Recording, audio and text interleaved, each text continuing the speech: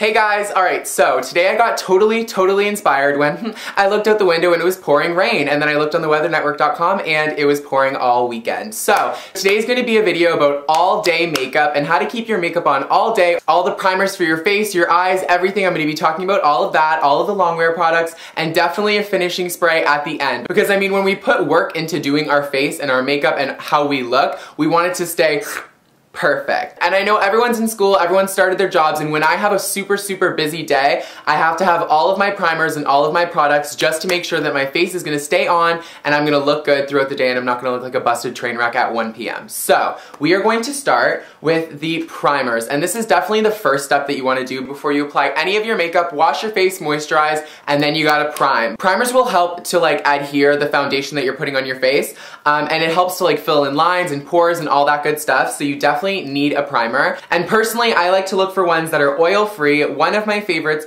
ever in the entire world is the MAC Matte Cream, and it looks like this. It reminds me of like kindergarten, like the little tubes paint would come in. But yeah, this stuff is really, really good. I think it's silicone based. I don't know. There's like no ingredients on this thing. What do they put in this poison? Your foundation is gonna love you for putting on a primer before you put it on. It's honestly one of the key steps to having makeup all day and you can try it, do a day without primer and then do a day with you'll die. Alright, so another one that is one of my all-time favorites is by Makeup Forever, and it's called All Matte Base Mattifiant Visage. Oh wait, I read the French. Face Mattifying Primer, oil-free. As I said, you want to look for an oil-free one. This one's kind of cuter packaging. It's like a little bit, like they tried a little bit more, you know? but yeah, this is nice. It's like a little frosted glass. Um, and this is basically the same thing. I prefer, if I was on a desert island and I only had to use one face primer, I would definitely choose the MAC one. But I mean, if I was on a desert island, let's get real, I'd be trying to get a coconut cracked open so I could actually survive. But anyways, this stuff is really, really great. All you need is one squirt, and look at how little this is.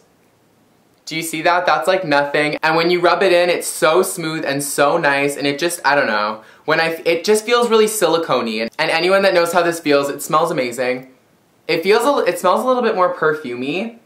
Smells a little bit more perfumey than the MAC one, which is what I like, but the MAC one's better. But this one's also really, really, really great. If you can find one that says matte on it, you're 100% good, so don't worry about that. Alright, so next thing I'm going to talk about is eyeshadow primers. And honestly, on a daily basis, I always get asked, what is your favorite eyeshadow primer? And I have tried all of them. I mean, I've tried Primer Potion, I've tried Too Faced, I've tried a bunch of other random ass brands, but these are my two favorite. Alright, so this one is Too Faced Shadow Insurance, and it looks like this.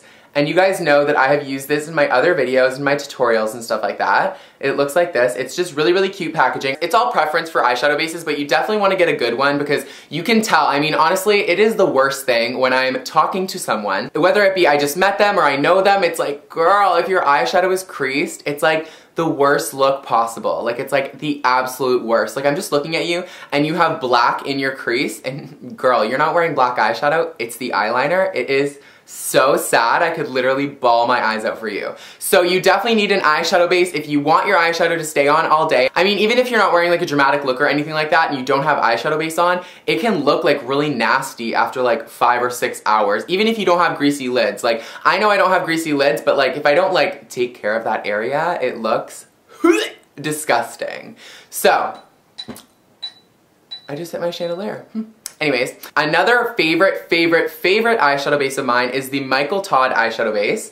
And the reason I like it so much is because it's super, super thick. Like, I know that the primer potion is really, really thick, like it's thicker than the Too Faced, but this is like ultra thick and it's like almost like a mousse. So it's like when you put it on your lids, it's just like, it's really nice. I know people, some people like like the watery effect of the Too Faced, and I mean, I have days where I like that too. But this is one of my ultimate favorites. You guys definitely have to try. This eyeshadow base is epic. Can you hear the whistling right now? It's literally the War of the Worlds outside. But anyways, um, I'm talking about makeup inside. This concealer, I feel like everyone needs a good, long-lasting concealer. But for days like this, especially when it's so humid and I feel like my face is gonna be melting off my skin, you definitely need a good concealer because I mean, I know on days like this where I feel sweaty and I feel disgusting and, and I don't wanna get like overly glam or anything, I just use a really good concealer and then a powder and then I use my finishing spray. Um, and then that's all I wear. Like no foundation or any of that just because it's like, it, it'd be too heavy and I'd end up sweating off. But anyways, Um, this concealer is one of my all-time favorites and I absolutely hate. Anyone that knows me knows that I hate matte concealers. I just don't like them. But their new Pro Longwear concealer is absolutely gorgeous. It's so beautiful. It's in a glass container and it looks like this. This stuff wears for so, so long. Like it's retard ridiculous. I'll pump it on the back of my hand and then put it on my face and like blemishes or whatever. Um, and like I'll have to literally scrub it off my hand. That's how you know it's a good concealer. And in this I'm wearing NC25 so if any of you are wondering, this concealer is epic.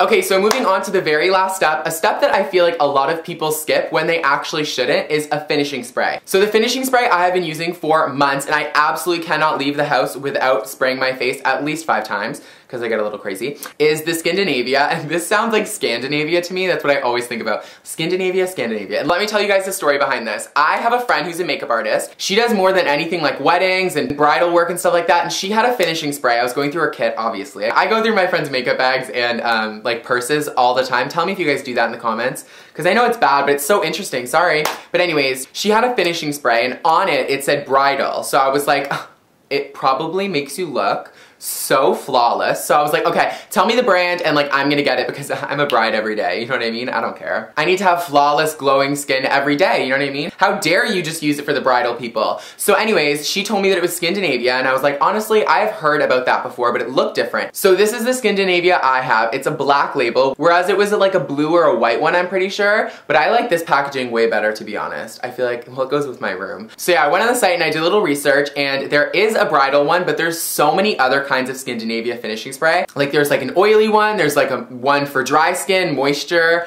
um, there's a bridal one, as I said, there's one that makes you look younger, like 10 years younger for like people that are like 50 that need to look 40. But yeah, my skin really isn't anything. If anything, it's dry, but I don't want to add moisture to it because I just feel like that'd be weird. And my skin isn't overly oily where I would have to buy like the oil-free one. So I just bought the regular one, the makeup finishing spray, as you can see there.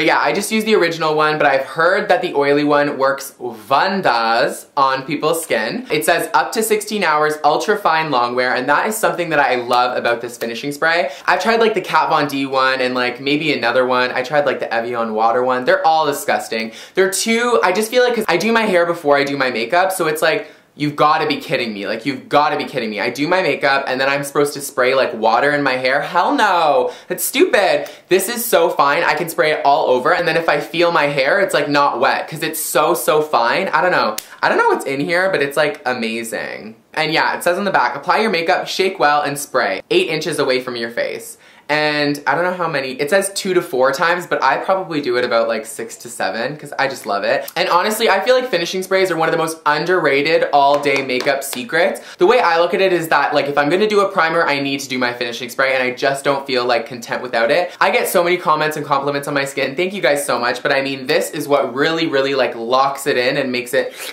stay forever. so I'm gonna do a demonstration just because I want it on my skin. It's like a nice like cooling effect. Like it's like it's addictive. So basically you just shake it and then you hold it like, I'd say this far away and then you spray. Ah! It's so nice. It's so nice. It's like a pick-me-up, you know what I mean? And also, do you know Gaga uses this shit? Please. I was researching, as I said, little Bill Nye the Science Guy here. So yeah, I was researching it and I found out that Lady Gaga uses it every night on stage and I remember seeing her in concert and I was like, um, I would be sweating my ass off. And I was like, why is every part of her sweating? Uh, but her face. Like her chest would be drenched and like her body would be like sweating, but her face would be like nice. I don't know, it's really, this stuff is like magic, I'm telling you guys. So yeah, I hope that all of my all day makeup advice helped you guys for your long busy days where you feel like your makeup is sweating off your face. Don't worry because all of these products that I told you in this video will make your skin look amazing and keep it on for up to 16 hours, which is epic. So yeah, if you guys have any long wear makeup tips, definitely leave them in the comments and I will definitely try to check out those products. But until I see you guys next time, stay gorgeous.